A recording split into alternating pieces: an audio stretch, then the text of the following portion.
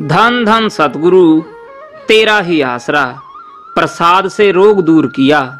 सरसा शहर के भक्त, चुन्नी लाल को छोटी आयु से ही शहनशाह मस्ताना जी के दर्श दीदार की तड़प रहती।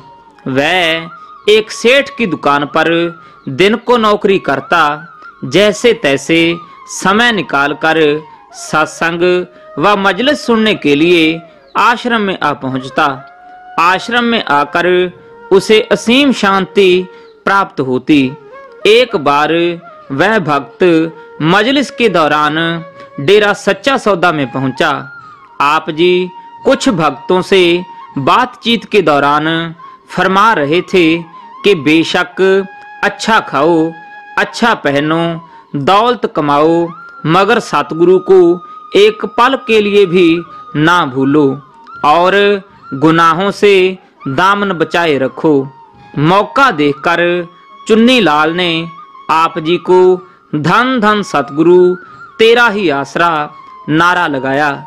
शहनशाह जी ने उस भक्त पर दृष्टि डालते हुए पूछा, पुत्र, तू जिस दुकान पर नौकरी करता है, वह सेठ आश्रम के लिए आपको क्या कहता है? इसके उत्तर में उसने नम्रता पूर्वक बताया कि साईं जी, जहाँ मैं नौकरी करता हूँ, वह दो भाई हैं। बड़ा भाई कभी कभी यहाँ आश्रम में आता है और छोटा भाई निंदक है।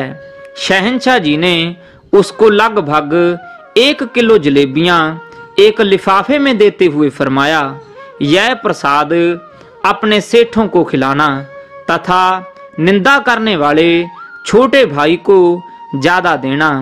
चुन्नी लाल, देर रात को घर लौटा और जलेबियों के प्रसाद का भरा लिफाफा सामने अलमारी में रखा और सोचा कि सुबह सेठ की दुकान पर जाकर प्रसाद खिला दूँगा और सो गया। भक्त के घर में उसका आठ वर्षीय भांजा, मनफूल, उन दिनों उसके पास रहा करता था।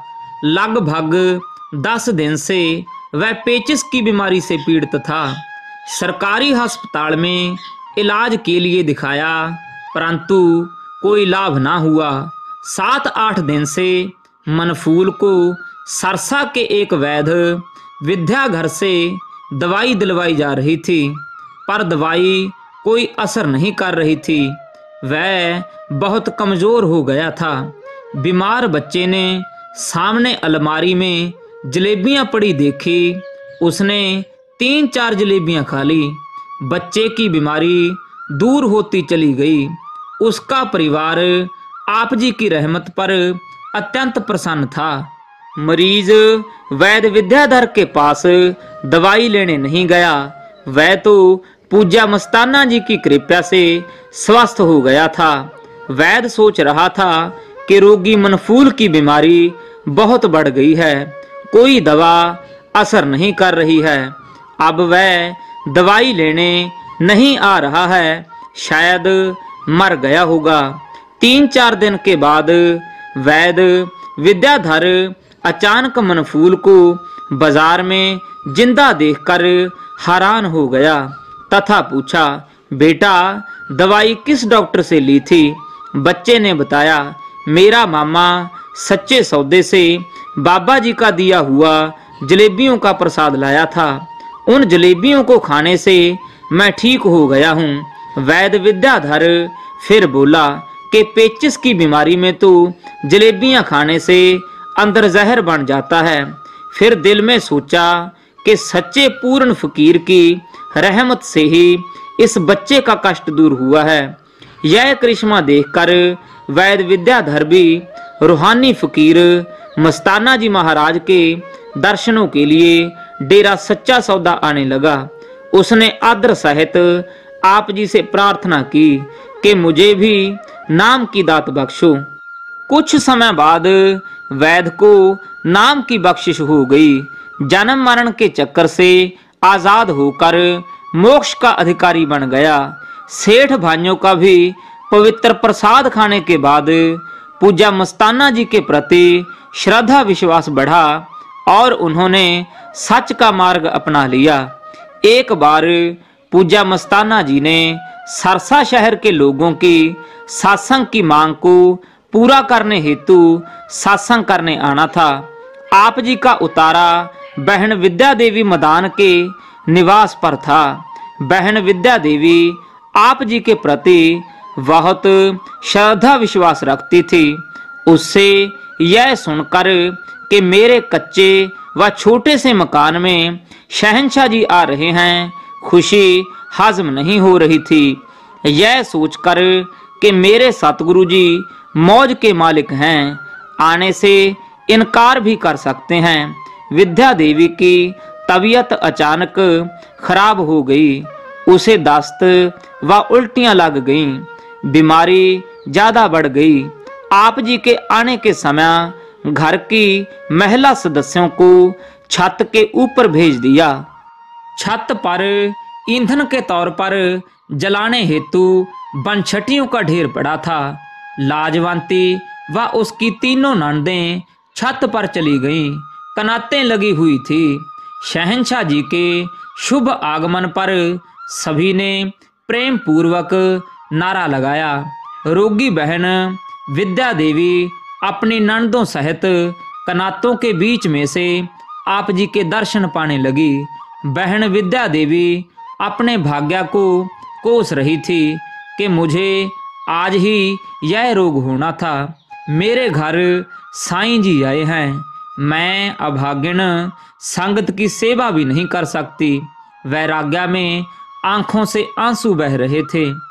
पास खड़ी नंदों ने प्रेम पूर्वक समूहिक यह भजन गाया ਵਾਟਾਂ ਵੇਖਦੀ ਦੀਆਂ ਅੱਖਾਂ ਥੱਕ ਗਈਆਂ ਹੁਣ ਤਾਂ ਆ ਸਤਗੁਰ ਫੇਰਾ ਪਾ ਸਤਗੁਰ ਰਸਤਾ ਜਾਣਦੀ ਨਹੀਂ ਤੇਰੇ ਪ੍ਰੇਮ ਵਾਲਾ ਮੈਨੂੰ ਸਕੇ ਨਾ ਕੋਈ ਪਹੁੰਚਾ ਸਤਗੁਰ ਮਹਿਲ ਮਾੜੀਆਂ ਵੀ ਮੇਰੇ ਪਾਸ ਨਹੀਂਓ ਕੁੱਲੀ ਕੱਖਾਂ ਦੀ ਫੇਰਾ ਪਾ ਸਤਗੁਰ ਵਾਟਾਂ ਵੇਖਦੀ ਦੀਆਂ ਅੱਖਾਂ ਥੱਕ ਗਈਆਂ यह वैराग्य भरा भजन सुनकर पूजा मस्ताना जी ने सेवादार गोविंद मदान से कहा, यह आवाज़ कित्थों आ रही है? भाई, पर्दे उतार दो, कनातें उतार दी गई।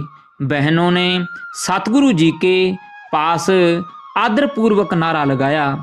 गोविंद मदान बोला कि, साईं जी, मेरी भाभी विद्या देवी को बहुत बुखार है। इस पर आप जी ने हँसते हुए फरमाया, हमें पता है, इसको जो बुखार है, वह सोचती है कि पता नहीं, असी आएँगे कि नहीं। इसको यही बुखार है। कृपयालु दाता जी ने एक चीकू के फल का प्रसाद अपने पवित्र हाथों से बहन विद्या देवी को दिया। बहन की तबीयत उसी समय ठीक हो गई। सभी रोग प्रसाद खाने से दूर हो गए। बहन खुशी खुशी संगत की सेवा में जुट गई। वह अपने सतगुरु जी का लाख लाख शुक्राना करने लगी। उस खुश मिजाज बहन को जीवन में कभी भी कोई कठिनाई ना आई।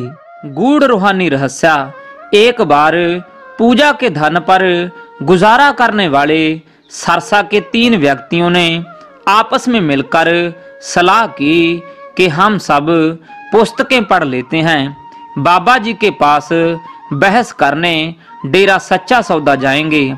फिर देखेंगे कि वह फकीर हमें क्या उत्तर देता है।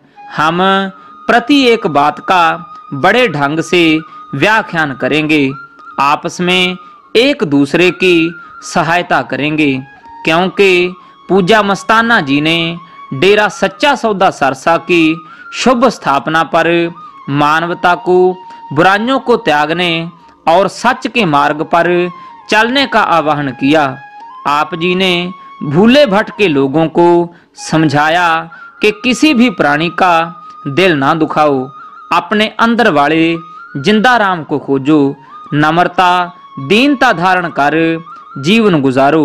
दान दक्षिणा ना लो और ना ही दान पखंडियों को दो। मेहनत करके खाओ। ऐसा पाठ सतगुरु जी ने पढ़ाया।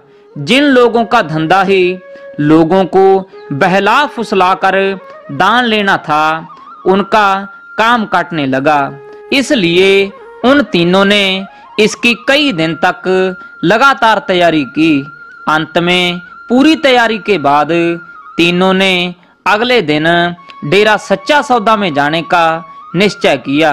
वे तीनों व्यक्ति तैयार होकर डेरा सच्चा सौदा के लिए चल पड़े। अंतर्यामी शहनशाह मस्ताना जी ने पहले ही एक सेवादार को बुलाकर फरमाया असी हाँ बेइल्मी और अनपढ़, आज कोई इल्मी और पढ़े लिखे आए तो उन्हें समझा देना कि हाजिर नाजिर जिंदाराम क्या है और सच्चा सौदा क्या है। इतना कहकर आप जी तेरावास में चले गए। थोड़ी देर बाद वही तीनों घमंडी व्यक्ति आश्रम में आए और आते ही बोले कि बाबा जी से मिलवाओ। सेवादार ने उन तीनों को प्रेम पूर्वक कहा कि बेपरवाह जी तो इस समय तेरावास में हैं। आप मेरे साथ चलिए, मैं आपको डेरा दिखाता हूँ। वे लोग डेरा देखने लगे, परंतु उनका ख्याल वार्तालाप में जाता था। इसलिए वे ध्यान से देख व सुन रहे थे। हर बार यही कहते कि बाबा जी से मिलवाइए। सेवादार ने बताया कि अगर तेरा वास से सतगुरु जी बाहर पधारे तो तुम्हें मिलवा देंगे। वैसे तो मिलना मुश्किल है। उन तीनों के दिल में ख्याल आया कि शायद बाबा जी को हमारे यहाँ आने का पहले से पता चल गया होगा। इसलिए तेरावास में चले गए। उसी समय अचानक शहनशाह जी तेरावास से बाहर आकर आश्रम के पिछली तरफ़ बेरों के बाग में चले गए। सेवादार ने उनको बताया कि साईं जी पधार रहे हैं और अभी आपसे मिलवाते हैं। वे लोग अपने कपड़े में बंधी किताबें निकालने लगे। पूजा मस्ताना जी एक बेर के पेड़ के पास जा पहुँचे और वहाँ से एक टहनी तोड़ी, जिस पर कई बेर लगे हुए थे। उसके बाद उस स्थान पर आ गए। यहाँ वे व्यक्ति खड़े थे। शहनशाह जी ने पूछा, कैसे आए भाई? उन्होंने कहा कि, हमें परमात्मा के बारे में भली भांति पता नहीं है। अत हम आपसे कुछ पूछना चाहते हैं। आप जी ने फरमाया, असी तो हैं अनपढ़, बेइल्मी फकीर। तुम लोग हुए, पढ़े लिखे और किताबें हाथ में हैं। वे तीनों अंदर ही अंदर प्रसन्न हो रहे थे। सतगुरु जी ने आगे फरमाया, वरी बात यह है कि परमेश्वर तो कोई दूर नहीं। तुम यह बताओ कि ये बेर कहाँ से आए? ये पककर तैयार हैं। यह फूल इस टहनी पर किधर से आया? ये बेर क्यों बने? रस मीठा कहाँ से आया? बोलो, कोई आवाज़ आई थी? कोई पता चला कि बेर इतना बड़ा हो गया और इतना मीठा बन गया? अब बोले कौन? सब सुन खड़े थे। उनको अंदर से ही पता चल गया कि यह बाबा जी कोई आम व्यक्तित्व वाले नहीं हैं, बल्कि यह उच्च कोटि के पूर्ण, सच्चे फकीर, स्वयं परमेश्वर ही हैं। उनको चुप खड़ा देखकर पूजा मस्ताना जी ने फरमाया, वरी, बात यह है कि इसके अंदर रस आया जो बेर बन गया। इसी प्रकार तुम्हारे अंदर परमात्मा, सच्चा सतगुरु ज़िंदा राम है, जो अंदर छुप कर बैठा है। अगर किसी को मिला है तो अंदर से मिला है। अगर किसी को मिलेगा तो अंदर से मिलेगा। वे तीनों मस्त होकर आदर सहित खड़े सुन रहे थे। शहनशाह जी ने पूछा, बताओ, तुम तो इल्मी और अकली हो।